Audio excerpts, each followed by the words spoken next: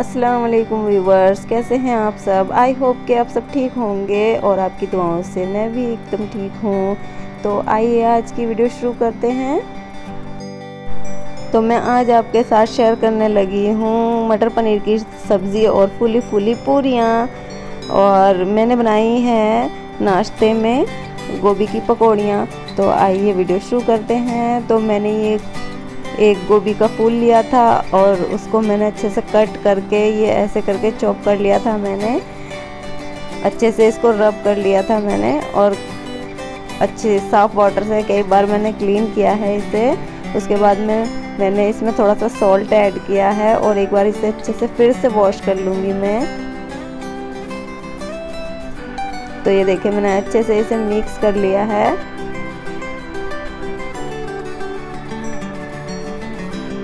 और एक कढ़ाई में मैंने पानी गर्म करने के लिए रख दिया है, जिसमें मैं दो से तीन मिनट के लिए गोभी को बॉईल करूँगी। और ये मैंने गोभी को इसमें ऐड कर दिया है। और ध्यान रखें, इसको दो से तीन मिनट ही हमें कुक करना है, उससे ज़्यादा हमें इसे ओवर कुक नहीं करना है। और इसमें मैं थोड़ा सा ऐड करूँगी थोड़ा सा सॉल्ट और मैं इसे कवर करके दो से तीन मिनट के लिए रख दूँगी।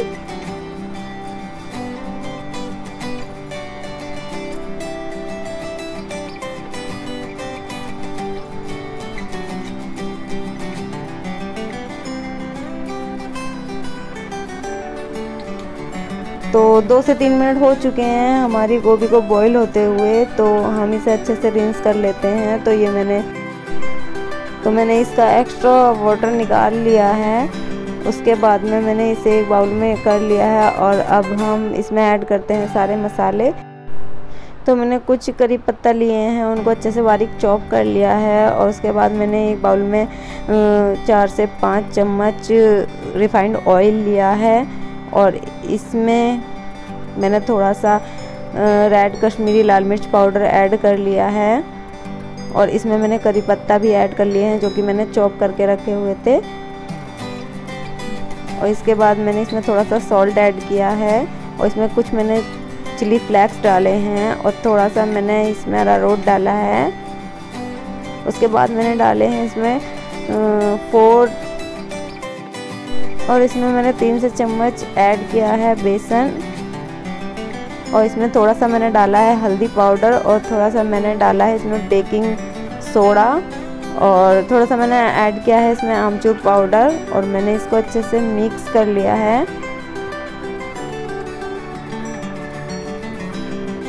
ये देखें, इसको अच्छे से हम मिक्स कर लेंगे।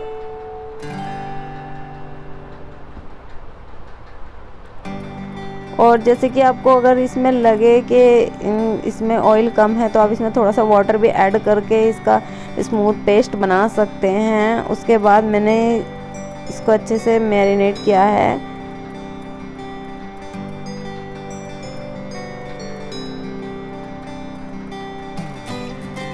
तो मैं इसको अच्छे से मिक्स कर लूँगी।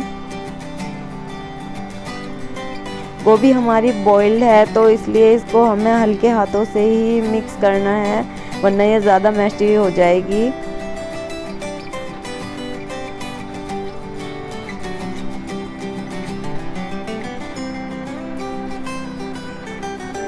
तो ये हमने अच्छे से इसको मिक्स कर लिया है। इसमें मैंने थोड़ा सा अरारोट और मिक्स किया है, एक चम्मच।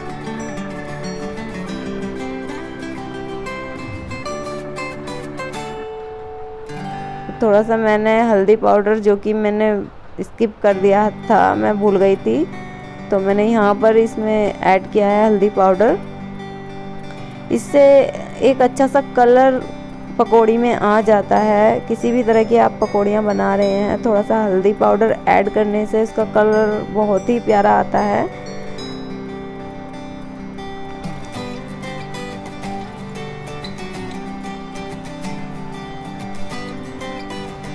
थोड़ा सा इसमें सॉल्ट ऐड किया था मैंने। मुझे सॉल्ट थोड़ा सा कम लग रहा था तो मैंने थोड़ा सा सॉल्ट भी इसमें ऐड किया था। अब मैं इसे एक बार फिर से अच्छे से मिक्स कर लूँगी। आप चाहें तो कुछ टाइम के लिए इसे मैरिनेट करने के लिए रख सकते हैं बट मैंने नाश्ते के लिए बनाने जा रही थी तो मैंने इसको हैंड टू हैंड ही बनाया है। मैंने इसे मैरिनेट करने के लिए नहीं रखा है तो मैंने ऑयल गर्म करने के लिए पहले ही रख दिया था। और ये मैंने मस्टर्ड ऑयल का यूज़ किया है इसमें। और मैं इन्हें ऑयल में डालते जाऊँगी।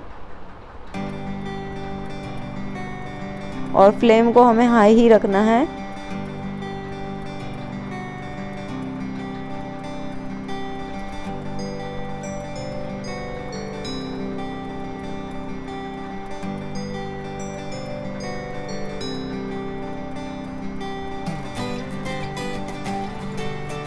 अब मैं इनको अच्छे से फ्राई होने तक भून लूँगी। जब तक ये गोल्डन ब्राउन ना हो जाए लाइट गोल्डन ब्राउन ज़्यादा हमें इन्हें डार्क ब्राउन नहीं करना है।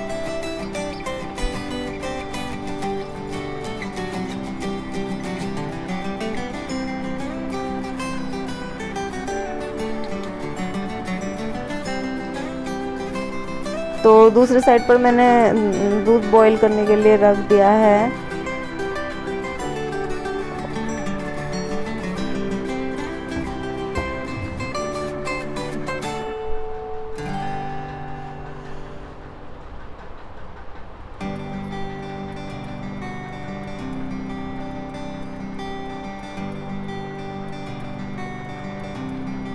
और इनको हमें अच्छे से ही पकाना है, वरना ये कच्ची नहीं रहनी चाहिए। वैसे तो ये हमने इनको बॉईल किया हुआ है बट फिर भी इनमें अच्छा सा एक क्रिस्पनेस आना चाहिए।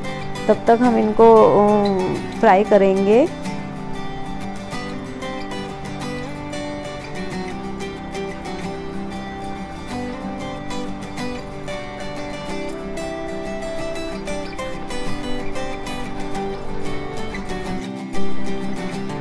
तो हम सेकेंड बैच ऑफ़ पकौड़ी डाल लेंगे इसमें, और उसके बाद इनको भी हम अच्छे से फ्राई करेंगे।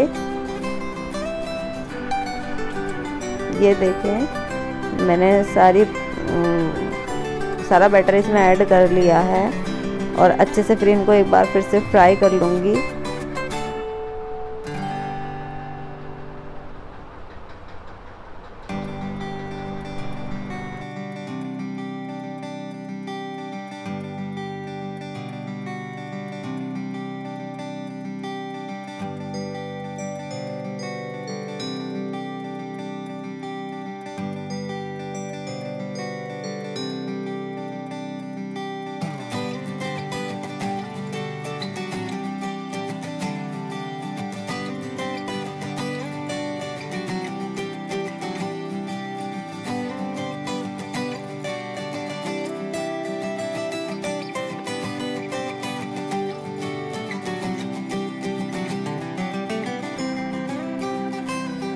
तो ये देखें, पकौड़ियाँ बनकर हमारी रेडी हैं। और अब हो चुका है हमारा लंच टाइम तो मैं बनाने जा रही हूँ पनीर मटर की सब्ज़ी। तो ये देखें, मैंने प्याज, अदरक और लहसुन को कट करके रख लिया है और ये मैंने पनीर को भी छोटे पीसेस में कट करके रख लिया है। और ये मैंने टोफू सोया पनीर यूज़ किया है, वाव का।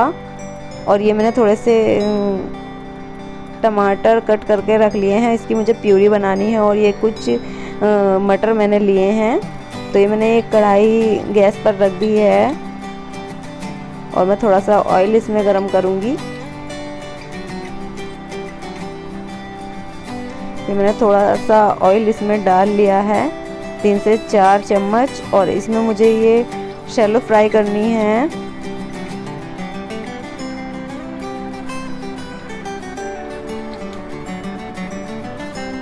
प्याज और अदरक और लहसुन। तो इसको मुझे अच्छे से फ्राई करना है। और मुझे इन्हें लाइट पिंक ही करना है। मुझे इन्हें ज़्यादा पकाना नहीं है। तो इसलिए मैंने पाँच से छः मिनट ही इन्हें फ्राई करूँगी। मीडियम फ्लेम पर।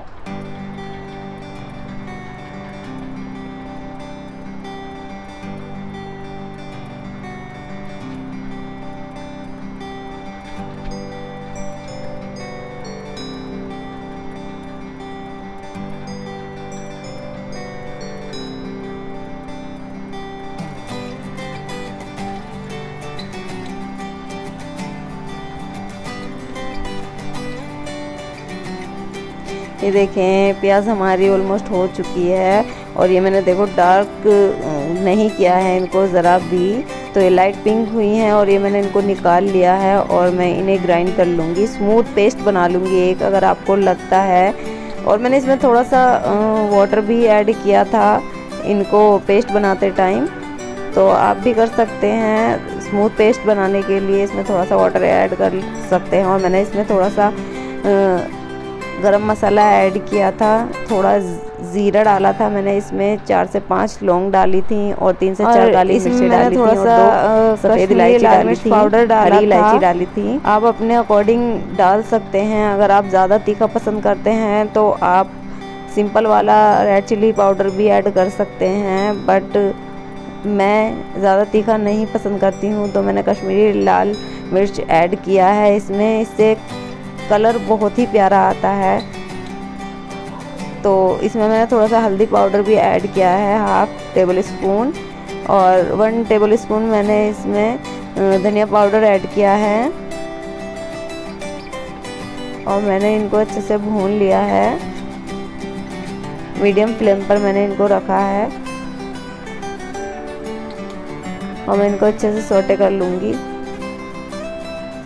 अब मैंने जो वो टमाटो लिए थे, उसकी मैंने दर दरी सी प्यूरी बनाई है। मैंने ज़्यादा इनको बारीक पेस्ट नहीं बनाया है तो मैंने उनको मोटा मोटा पीस लिया था। तो इसको भी सारे मसालों के साथ अच्छे से कुक कर लूँगी। और ये मैंने थोड़ा सा सॉल्ट ऐड किया है इसमें।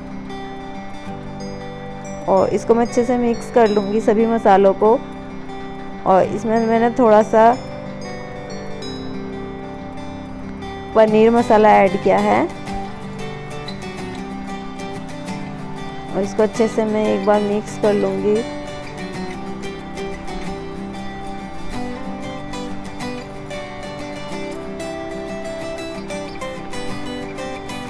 और सिंपल हम जब अदरक और प्याज का पेस्ट बनाते हैं। उससे ज़्यादा इस वाली ग्रेवी में फ्राई की गई प्याज और अदरक और लहसुन वाले पेस्ट में ज़्यादा टेस्ट आता है। तो एक बार ट्राई ज़रूर कीजिएगा। उसको फ्राई करके ही ग्रेवी बनाकर उसमें मसाला ऐड कीजिएगा। और मैंने ये थोड़ी सी कसूरी मेथी हाथ से क्रश करके डाली है इसमें।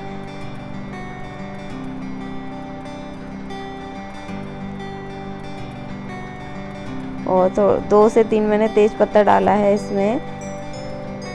और इससे इसका फ्लेवर बहुत ही अच्छा आता है और ये मैंने यहाँ लगी हूँ पूरियाँ बनाने के लिए तो मैंने थोड़ा सा आटा लिया है। मैंने मैदा का यूज़ नहीं किया है तो मैंने थोड़ा सा आटा लिया है और उसमें मैंने डाली है कुछ अजवाइन। हाथ से मैंने अच्छे से उनको क्रश कर लिया था और मैंने थोड़ा सा बेकिंग बेकिंग सोडा डाला था और उसके बाद मैंने उसमें थोड़ा सा सॉल्ट ऐड किया है और मैं उसको आटा गूंद लूँगी।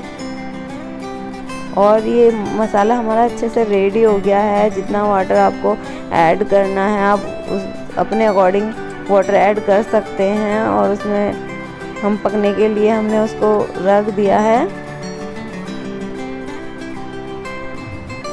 उसके बाद मैंने इसमें पनीर भी ऐड कर दिया है और फ्लेम को हम लो करके रख देंगे और ये देखें 15 से 20 मिनट इसको पकते हुए हो गए हैं। और ये डिश हमारी रेडी है, मटर पनीर की रेसिपी देखिए कितनी प्यारी लग रही है, कितनी यमी लग रही है। और ये वाकई में टेस्टी बनकर तैयार हुई थी। तो अब हम लगे हैं पूरियाँ बनाने के लिए। तो मैंने ऑयल गरम कर लिया है।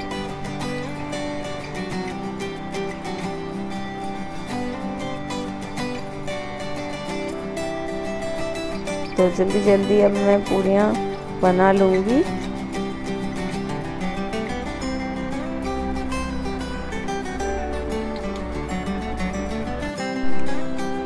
और रेसिपी ट्राई ज़रूर कीजिएगा। बहुत ही टेस्टी बनकर तैयार हुई थी। और अगर वीडियो आपको अच्छी लगी हो तो प्लीज़ लाइक कीजिएगा शेयर कीजिएगा कमेंट्स कीजिएगा। और चैनल को सब्सक्राइब करना ना भूलें। अल्लाह हाफिज़।